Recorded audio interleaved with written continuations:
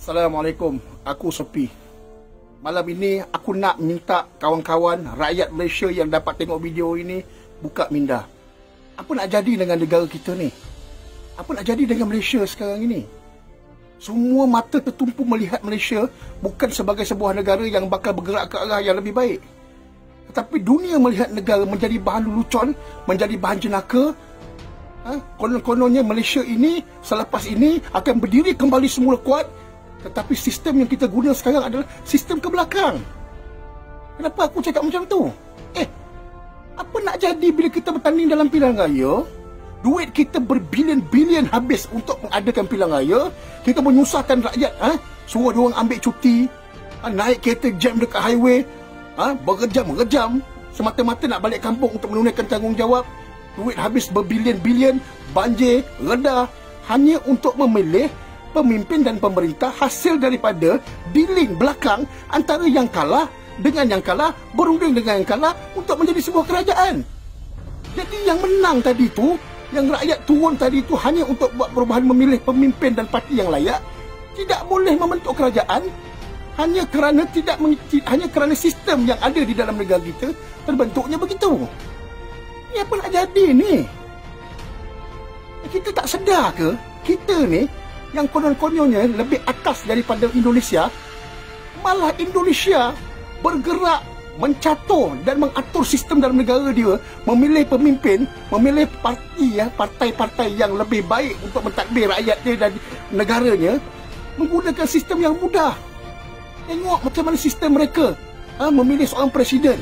Bila dah bertanding dalam pilihan raya ha, akan ada lima atau enam parti yang berada dalam posisi yang yang uh, rankingnya daripada atas ke bawah.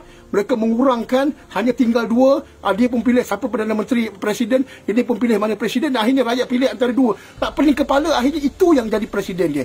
Ya mereka Republik kita demokrasi perlembagaan berbeza saya faham.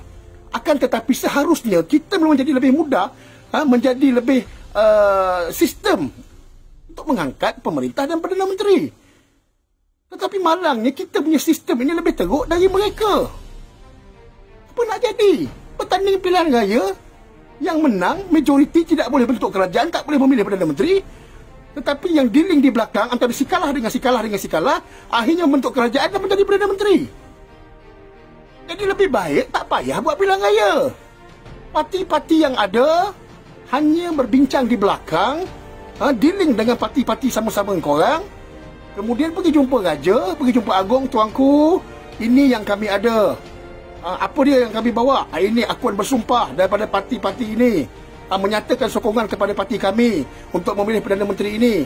Ha, yang satu pihak lagi pun sama bawa benda yang sama. Kemudian menjadi pertimbangan dari Tuan Agong untuk memilih. Yang akhirnya bat, tuanku buat keputusan. Tuanku setelah melihat ha, keadaan parti-parti ini, part, ha, tuanku memilih parti ini dan Perdana Menteri ini. Mudah. Tak payah bebankan rakyat untuk turun ha, menunaikan tanggungjawab berbilion-bilion duit rakyat habis dengan tenaga bergaduh dekat bawah baling-baling kursi bakar bendera pun kita bergaduh dekat bawah. Akhirnya yang naik Perdana Menteri adalah orang yang bukan selayaknya. Come on rakyat Malaysia. Bebaslah daripada kebodohan. Ha? jangan lagi terikat dengan sentimen politik perkauman yang sempit dan juga sentimen-sentimen agama. Bukan kita tidak meraihkan cara pentadbiran yang Islamik. Tidak. Aku nak beritahu kami di dalam Pakatan Harapan, majoriti Islam. Kami faham syariat agama. Kami tahu bagaimana agama yang diajar oleh baginda Rasulullah SAW itu berjalan. Kita faham. Jangan kalian menghukum kami dalam Pakatan Harapan seolah-olah kami ni murtad dan kafir. Tolong. Setiap kali pilihan raya kami terpaksa berhadapan dengan mempertolkan persepsi rakyat tentang parti DAP, parti DAP, parti DAP. Saya nak beritahu. Saya nak bagi rakyat yang termakan dengan hasutan dan kempen politik murah tentang DAP ni. Raja kita, agung kita adalah orang Melayu Islam. Dalam perlembagaan Perdana Menteri kita mestilah orang Islam. Ketua-ketua terus angkatan tentera sehingga daripada atas sampai ke bawah majoriti ini adalah orang Islam. PDRM polis yang berada daripada atas hingga ke bawah majoriti dia adalah orang Islam. Penduduk Malaysia majoriti dia adalah bangsa dan agamanya orang Melayu Islam. Hanya kerana parti DAP korang jadi takut mengalahkan kamu tu berhadapan dengan satu senjata nuklear yang akan membunuh kita dalam masa yang serentak. Dan kita mati kesemuanya orang Islam dekat Malaysia ni. Apa nak jadi takut dengan DAP ni? Kalau DAP ni kalaulah menjadi ancaman, yang saya sebut daripada atas sampai ke bawah tadi yang Islam daripada agung daripada Perdana Menteri daripada tentera daripada polis daripada rakyat kita nak tengok saja ke kalau dia betul di AP ni menjadi ancaman kita-kita Islam yang ada ni semua jadi kayu ke? Nak menengokkan dia orang nak membunuh kita mereka nak memperalatkan kita? Pakai otak. Kempen politik Cina di AP Cina di AP Cina di AP ni dah habis dah tak ada zamannya lagi dah. Kita sekarang menuju ke arah milenium tengok negara tetangga kita Indonesia tu tengok kalau tak boleh pergi ke negara dia, buka internet. Baru-baru ni G20, Indonesia berada dalam kelompok negara perekonomian terbesar dengan negara-negara besar dunia. Eh, kita dekat mana? Heboh kita berpolitik dengan cara bodoh, cara kuno ni. Ha?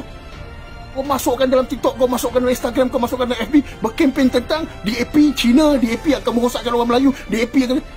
Eh, malulah. Malu. Korang yang ada ni bukan budak-budak budak-budak kecil yang tak ada akal, ha, yang belum balik lagi. Umur dah 18 ke atas dah boleh fikir. Apa yang keluar yang terjemahkan kepada korang itu hadam. Apa nak jadi ni pilihan gaya ni yang menang membentuk yang ada majoriti tak boleh bentuk kerajaan dan tak boleh memilih Perdana Menteri tetapi orang-orang yang kalah, parti-parti yang kalah, eh dealing di belakang akhirnya boleh bentuk jadi kerajaan. Buang masa kita buat pilihan gaya ni. Tolong. Jadi rakyat yang cerdik. Merdeka dari pembodohan. Merdeka dari kesombongan. Merdeka daripada kejahilan dan kemunafikan. Jadi rakyat Malaysia yang merdeka. Bukan merdeka daripada pemerintah apa nama penjajah. Bukan. Merdeka dari segi minda kita daripada tertutup rapat di dalam kelompok tempurung yang tak boleh berkembang menjadi rakyat yang bodoh yang dihasutkan terus dengan doktrin-doktrin yang akhirnya merosakkan sistem otak kita dan keturunan cucu anak kita. Ingat, mulai pada hari ini, didik diri kita menjadi rakyat yang merdeka dan cerdik dan jangan senang-senang diperbodohkan. Aku Sopi. Assalamualaikum warahmatullahi wabarakatuh.